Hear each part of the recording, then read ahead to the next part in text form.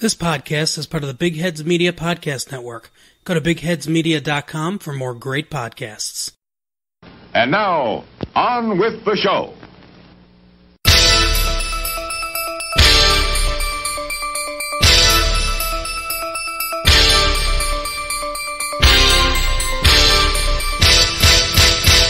Hey everyone, Chris here for a special bonus episode of We're Watching Here.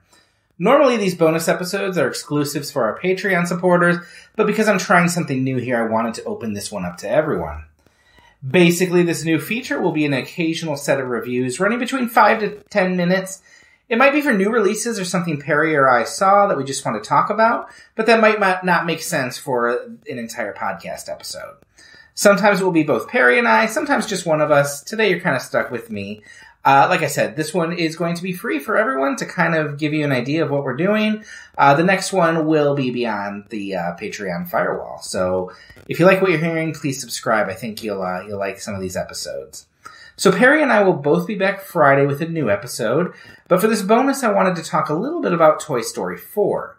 I hope you had the chance to listen to our discussion of Pixar films on the last episode when we both spoke very highly of the Toy Story series, particularly Toy Story 2. You might also recall that we weren't especially enamored with any other Pixar sequels. When you have a studio known for its breathtaking originality, rehashes, no matter how heartrending or funny they might be, just always feel like a disappointment. So when I compiled a ranking of all the Pixar films last week, I was actually surprised just how low even some Pixar sequels I enjoyed, like last year's Incredibles 2, ended up on the list. But the Toy Story movies have always been exceptions. Toy Story 2 is one of Pixar's finest moments. I recently watched this one again with my daughter, and I was stunned how flat Jesse's song knocked me, even after 20 years and multiple viewings. In addition to that, I was reminded just how funny, exciting, and fun the film is, in a way that almost seems too easy. Toy Story had this right out of the gate, that special Pixar touch that combines whimsy, wit, and existential angst. Toy Story 2 was such a perfect film that I was rightly anxious when Toy Story 3 came out 11 years later, and I was shocked then that the Pixar wizards were able to close the series off in such a moving, powerful fashion. So, you can imagine why I probably wasn't too excited heading into Toy Story 4 last week. Not only was Pixar tempting fate by releasing another Toy Story adventure, it was coming at the end of a long run of sequels that entertained but fell far short of their predecessors, things like Finding Dory or Monsters University or, God forbid, the Cars movies. Add to that that it was adding on to a trilogy that had a perfect conclusion, a point that felt like a definitive ending, and where else could you go? It seemed like Disney making another nostalgic return to the well, which, of course, if you look at Aladdin and upcoming Lion King, they love to do. And you can read my full review at Michigan Sports and Entertainment, and I'll link to it in the show notes. But Toy Story 4 really surprised me. It's a very funny, exciting, and yes, moving story. But more than that, it gives us an ending that feels necessary and emotionally resonant without robbing the previous film's conclusion of its power. I use the word epilogue quite a bit in my review, and I think that's the right word. This isn't attempting to write the Toy Story trilogy. It's just one last adventure that gives us some new directions and shadings for these characters. I don't want to re-review the movie here, but I do want to talk about the ending, which means I'll be going into spoilers for this review. While the movie has received rave reviews, including a 98% fresh rating on Rotten Tomatoes and an 84 on Metacritic, I've seen some division on the film's ending, with some people finding it out of character for Woody. So I thought I would share my thoughts here, and then feel free to chime in on our Facebook page or via email if you agree or disagree. So again, a spoiler warning, if you haven't seen Toy Story 4, I recommend turning this off until you've seen the film because I will be discussing the ending right now. Still here? Alright. So at the end of Toy Story 4, Woody makes the decision to leave Bonnie and his friends and stay with Bo, who's been fending for herself in the wild and is going to explore the world with a traveling carnival and the other lost toys they picked up along the way. Rather than stay with Bonnie until she grows old and then move on to a cycle of other toys and kids, Woody decides to join up with Bo and help Lost Toys find new kids. I've seen some complain that this ending is out of the blue and out of character for Woody after his commitment to Andy and the other toys in the three previous movies. Josh Larsen, co-host of Film Spotting podcast, he felt the same way, writing on his site, it strikes me as a strangely square move for the series to make, a sudden embrace of traditional romance over the communal vision these movies have always painted. Bo may thrive out on her own, but Woody was never meant for the wild, wild west. His place is the ranch, more specifically, the corral where lost toys could be gathered and given purpose and community. And I understand what he's saying. The Toy Story movies have always been about existential fears and, and angst, and for them to suddenly let Woody leave because he's pursuing the one who got away seems a bit old fashioned and a new and slightly less inter- interesting direction for the series. But I actually think that's a misreading of the film. Yes, Woody is happy to be back with Bo, and the film does create a sort of romance for them. But what Woody is really doing is finding his purpose changing, new desires growing, and a new stage on which to pursue his passion. Throughout the Toy Story series, Woody has had two primary drivers to be there to comfort his kid and to make sure no toy is ever left behind. As we catch up with him, he is Andy's favorite toy, and therefore he's the leader of that group. When we meet him in Toy Story 1, he's head of the gang. He's a protector for the toys, responsible for them, and when Buzz appears, he's afraid of losing that status. What he learns is that he can share the spotlight, that there's enough room in Andy's heart for him and a new friend. In Toy Story 2, he learns that being for her, there for his kid is more important than protecting his heart from the fear of Andy growing older and himself growing obsolete. Woody, as in Toy Story 4, has the option to leave his kid. In this case, to be put into a museum where he'll be admired by people from around the world. He realizes that it's worth being around to see Andy grow up, even though he can't deny that one day he'll be an adult who doesn't need his ragdoll cowboy.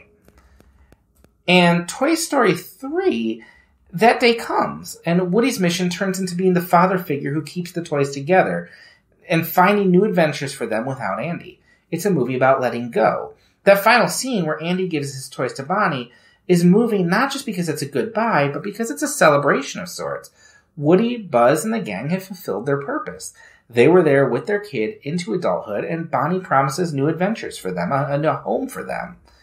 But something about that ending always bugged me.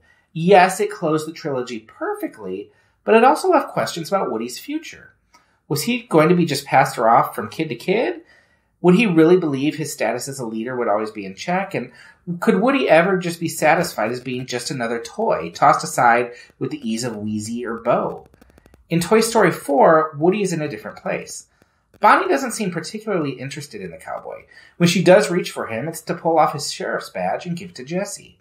He spends most of his time in the closet with other toys Bonnie is interested in. Uh, Bonnie isn't interested in, sorry. He's no longer the leader of the gang. Dolly runs through him, and he's consistently chided over his attempts to insert himself into Bonnie's reality. Really, at this point, Woody's kind of superfluous to Bonnie. His purpose has been fulfilled with Andy. Now he has to watch other toys take the lead with a new kid while he gathers dust. But throughout the movie, we also see that Woody's belief in the noble pursuit of being a toy is his greatest strength, and it both helps kids and toys. He talks Forky out of his despair and makes him understand that he's the most important toy in Bonnie's life at the moment. His entire quest this time is spurred not just by him wanting to get back to Bonnie, but to get Forky back to her. He understands she may not miss him, but that she'll be inconsolable if this weird spork isn't returned. And we also see in his dealings with Gabby Gabby that he understands just how much healing she can have if she's allowed to be someone's toy. He willingly gives up his voice box so she can go home with Harmony. And when that doesn't work, he promises to take her to Bonnie until he finds a lost girl at the carnival and unites her with Gabby Gabby. The movie shows Woody discovering a new purpose, new adventures so that he can fulfill his desire to make kids happy and still make sure no toy gets left behind, even on a bigger scale than before. While this might not be what the Woody of Toy Stories 1 through 3 would do, the character finds new yearnings, desires, and opportunities. When he hesitates at the end, he's not worried about himself, but about Bonnie. It's Buzz who tells him she'll be fine, that Woody has permission to go have new adventures. I find that a beautiful ending, this reimagining of new possibilities for Woody. It's much better than the thought of him gathering dust in a storage bin for five decades, and it solidifies the themes of parenthood that the Toy Story movies have always had. While the first film might, be better read as a story about sibling rivalry, starting with Toy Story 2, the series became an allegory for raising kids who might not appreciate you or always want you around. It became about the heartache of watching your baby grow up and stop being your little buddy, taking steps toward independence where you might no longer be as essential. The reason Toy Story 3 hit so many people like a sledgehammer is not just because of that final sequence, but because of the moment where Andy's mom looks around his room and sees her boys heading off to college. We'd spent 15 years with these characters, Likely, many parents who had taken their kids to see Toy Story were sending them off to college the same summer as Toy Story 3 came out.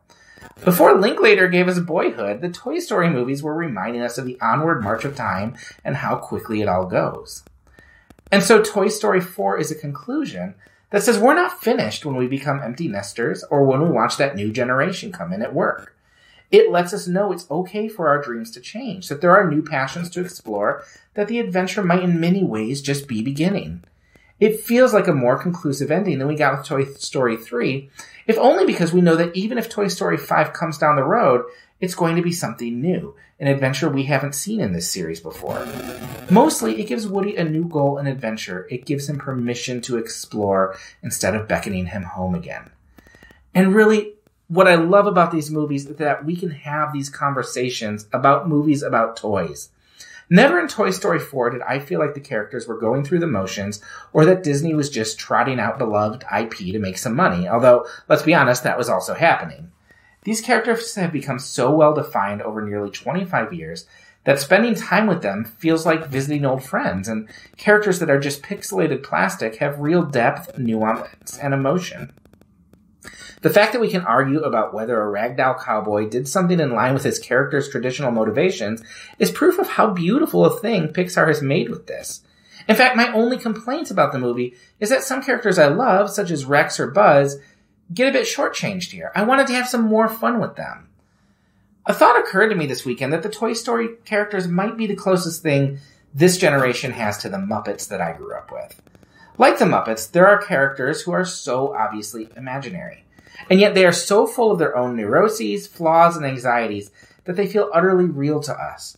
I find myself not thinking about the work Tom Hanks or Tim Allen do here, which, as always, is great, but about the decisions made by Buzz and Woody. They are real to me in a way that Kermit, Piggy, or Fozzie are. And it takes a special kind of magic to pull that off.